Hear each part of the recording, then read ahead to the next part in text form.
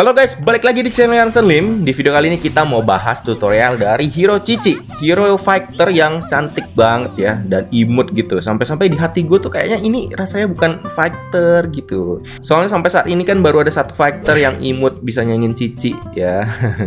kalian tau lah. Nah, jadi untuk pakai Hero Cici, awal-awal tuh kalian unlock skill satunya dulu. Soalnya skill satu tuh skill utamanya si Cici ya. Dan kalian bisa lihat di sini dia itu nggak punya bar mana cuy. Jadi untuk pakai skillnya itu tuh gratis, nggak konsumsi apa pun. Nah untuk efek pasif dari si Cici ini, setiap kali dia nyerang lawan, mau pakai basic attack kayak atau mau pakai skill, dia bakalan dapetin satu stack pasif guys. Pasifnya ini tuh fungsinya untuk nambahin 0,75% spell fame sama 0,75 movement speed. Jadi setiap satu stack tuh bakal nambahin 0,75% movement speed, dan spell fame. Jadi tanpa item pun skill kalian itu tuh bisa nambahin darahnya si Cici tuh, lihat gak? Nambah-nambah sedikit gitu ya. Dan bakalan dikaliin dua kalau dia udah sampai 10 stack. Soalnya maksimal sampai 10 stack, jadi udah sampai 10 stack bakal dikali dua efeknya. Ini kebetulan gue pakai uh, Breath Smite, jadi pas gue keluarin skill pertama kali itu dia bakalan dapat darah. Jadi yang banyak itu tuh bukan dari efek pasifnya ya. Nah, supaya kita bisa spam skill 1, gue bakal bikin dia no cooldown dulu. Jadi kalian bisa lihat kalau pasifnya ini enak banget. Lihat ya. Oke ini udah kita bisa spam skill satu lagi. Nah udah 10 stack nah lihat. Gue bisa nambah darah dari si skill satunya skill 2 gitu juga nambah darah gitu ya karena pasifnya memang kayak begitu nambahin spell fame Nah, untuk skill satunya tuh range-nya lumayan gede, segini. Ini bisa dipakai kapan aja. Jadi pas kalian pencet tuh dia bakal aktifin mode nyerang. Nanti dia bakal puter-puterin yoyonya gitu ya. Nah, kalau misalkan ada target di dalam area skillnya, ini dia bakalan nyerang otomatis. Nah, kayak gitu. Jadi dia nggak bisa ditargetin kalian mau nyerang ke mana tuh nggak bisa. Tuh, lihat. Gue udah klik hero itu dia tetap aja nyerang ini. Jadi asal ada target terdekat sama dia, dia bakal serang. Tapi kalau misalkan ada hero sama ada monster jungle atau minion, dia bakal tetap lebih milih untuk nyerang ke hero ya. Jadi kalau antara hero sama hero ya random, tergantung kalian lebih dekat sama yang mana gitu ya. Itu jeleknya kayak gitu, karena kalian nggak bisa milih mau nyerang yang mana. So, kalau misalkan hero-nya udah keluar dari area skill satunya, dia bakal serang target yang terdekat kayak gitu. Terus spesialnya dari skill satu ini bisa dipakai untuk nyerang turret cuy. Ini gue bikin mode guard dulu supaya nggak mati. Nah, dia bisa nyerang turret juga. Tapi kan tadi gue udah bilang ya, dia lebih prioritasin untuk nyerang hero. Jadi, contohnya nih, ada hero di sini nih. Hero lawan gitu ya. Kalau misalkan kalian mau nyerang turret, itu tuh caranya ini pastinya pas minion udah masuk ke dalam turret ya, nggak mungkin kayak gini kalian TB-in. Skill satu kalian kalian lihat areanya, ini nih harus kayak begini nih. Jadi turretnya yang di dalam area skill 1 Nggak boleh kayak begini. Kalau kayak gini ada hero yang di dalam area skill satunya Pasti dia bakal nyerang ke hero. Nggak nyerang ke turret. Dan kalian bakal langsung di target sama turret. Gitu. Jadi kalian harus kayak gini nih. Gitu ya. Asal masuk sedikit aja dia langsung ke hero. Kayak gitu cuy Oh ya guys, buat kalian yang mau top up diamond, aman, murah, legal, dan otomatis 24 jam, kalian bisa ke www.ylshop.id. Di sana banyak banget gamenya dan harganya murah-murah guys. Ini gue bakal contohin gimana cara top upnya guys. Jadi gampang banget sebenarnya. Kalian tinggal klik aja game yang kalian mau, misalkan Mobile Legend ya.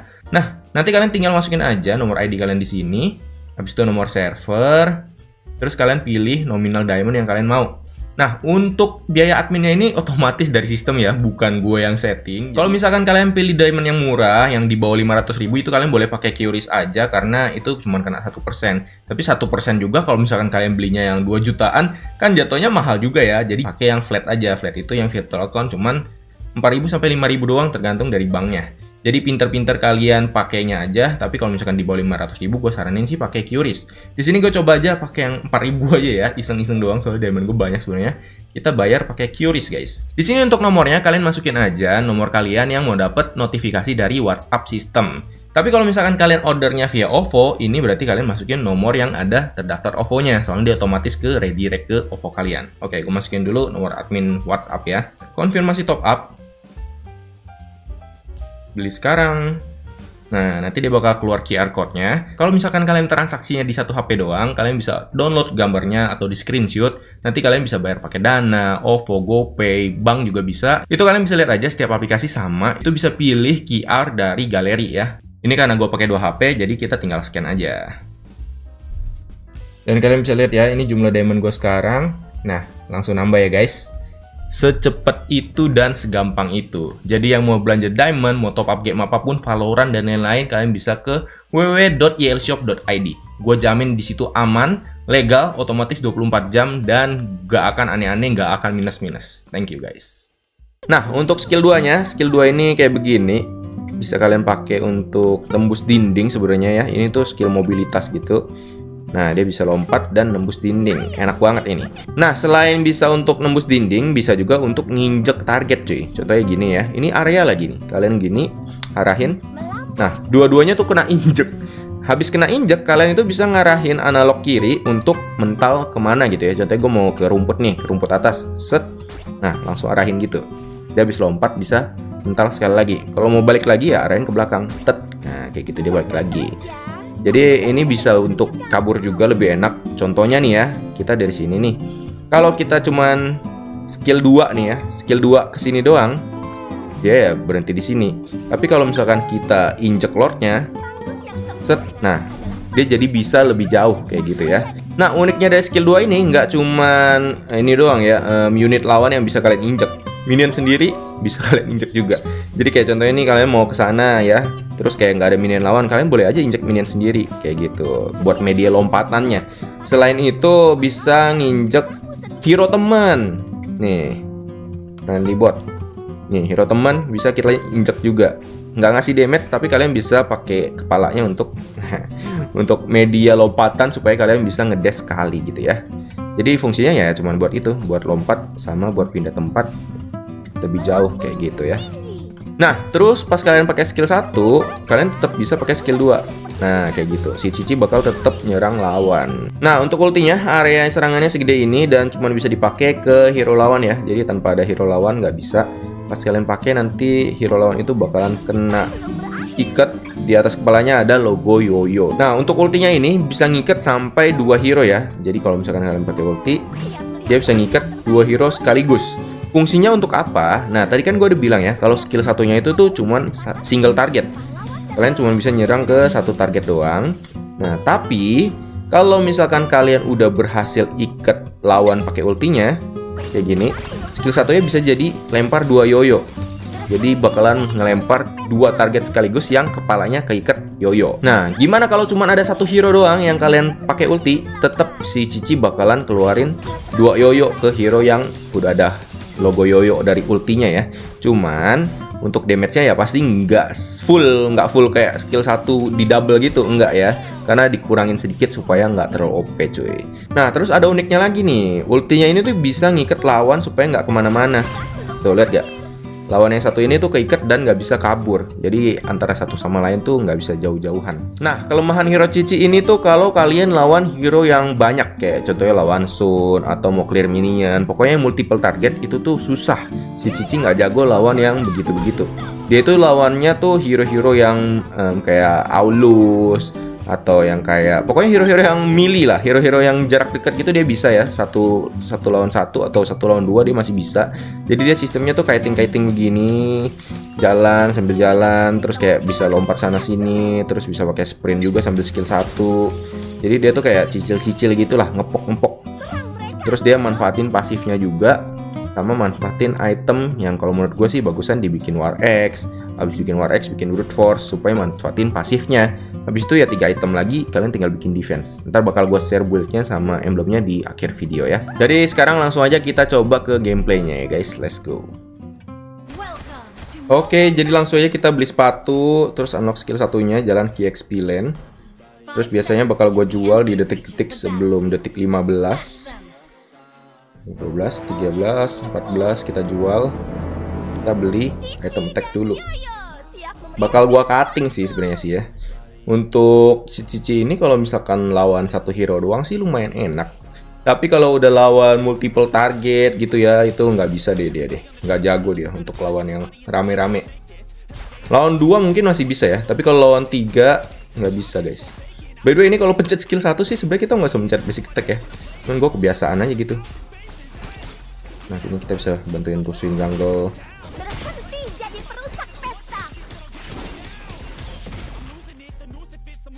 Tuh jago kabur tuh. Set.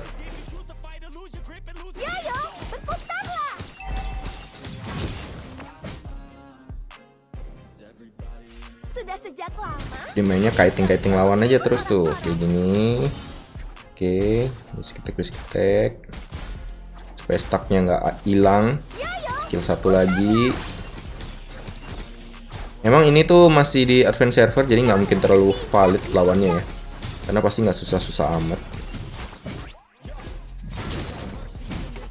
Kita bisa pakai sprint juga untuk jaga kecepatan supaya makin gampang untuk hindarin serangan lawan. Bisa deketin lawan juga. Nambah darah lagi nanti tuh. Pakai Brave Smite soalnya gua. Nah ini kayak gini nih kalian pakai skill satu hati-hati nih. Kalian harus nggak boleh sampai ada si nananya di deket kalian. Kalau nggak dia bakal nyerang si nananya dan kalian bakal kena serang turret gitu.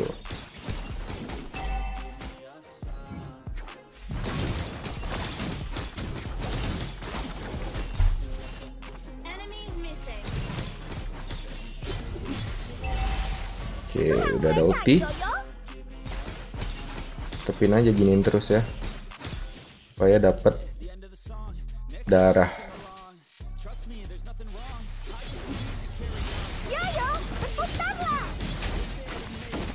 Ceritanya ada satu hero di sini kalian bisa pakai ulti juga. Eh jangan dulu, bentar.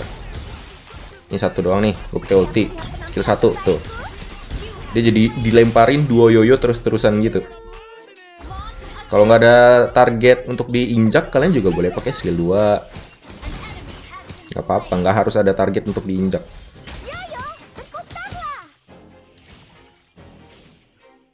Bisa di cutting lagi nih. Waduh, terlalu cepet. Eh, terlalu lambat.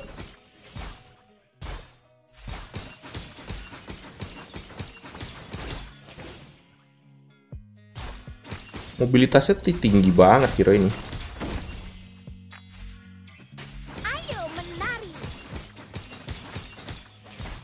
Makanya gue lebih seneng bikin dia ini sih defense ngeteng ngeteng gitu supaya dia lebih ini gampang cicil-cicil hero lawan pakai pasifnya sama pakai pasif item. Aduh mati. Soalnya tipis darahnya. Kalau misalkan kalian build damage pun damage-nya nggak seberapa ada. Gue udah coba. Jadi kita manfaatin pasif dia, pasif item War X, pasif item Brute Force. Wih, di bawah dijagain dua nih. Apa-apa. Sambil nyoba ya. Sambil ini, adu mekanik. Mumpung di advance server kan seharusnya nggak sesusah-susah amat nih. Kalau ada dua yang jagain kita lebih ini dong, valid dong.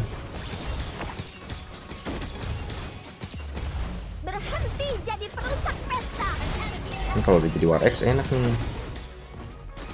Nah, udah jadi War X nih, asik nih. Ya. Ulti dong gua dong. Kabur dulu, kabur dulu.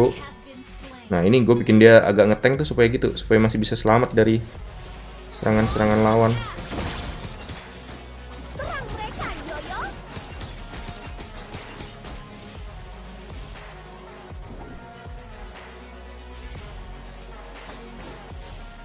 Gue ultinya aktif.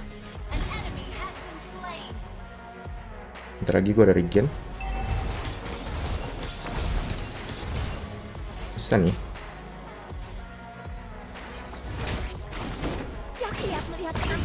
Ayo lo.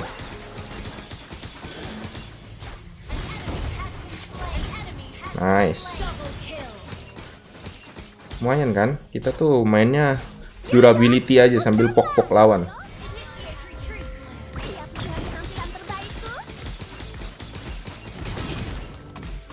Paket juga lo lumayan loh. Tuh, biar mereka kejar. Mereka bakal kesusahan kejar kita. Ayo, berakhir.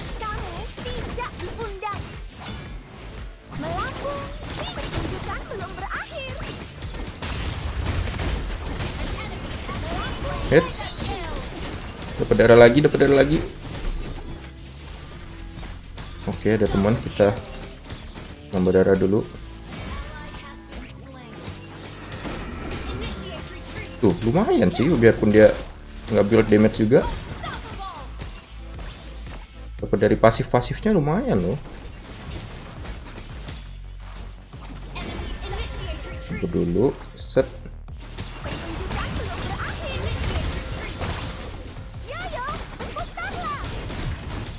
Dih, ngeflick dia. Kabur lagi.